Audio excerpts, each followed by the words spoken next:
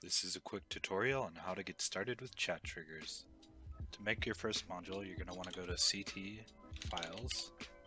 It's going to open up your modules folder, right click, new folder. Name it whatever you want.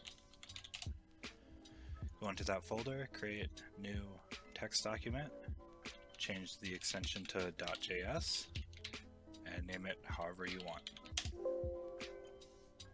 From here, we basically want to get our chat, so we're going to type anything in the chat, and then we're going to run ct dump, and what that'll do is it'll print it out in chat for us to copy it out.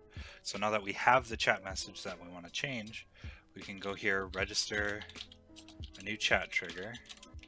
We're going to give it a function name of my chat. We're going to set criteria of this trigger. We're going to paste in what we just copied. And then from here, we can make a function, name it my chat.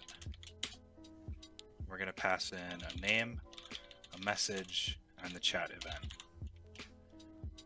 So up back in chat criteria, what we need to do is take out these dynamic parts and replace it with selectors for name and message. And then back in here, what we can do is we can cancel the event and we can chat a new event. And we're going to format it with um, a gray name. And then a white colon and a white message. And if we go ahead and save that run ct load over here. Then when we type in chat it's reformatted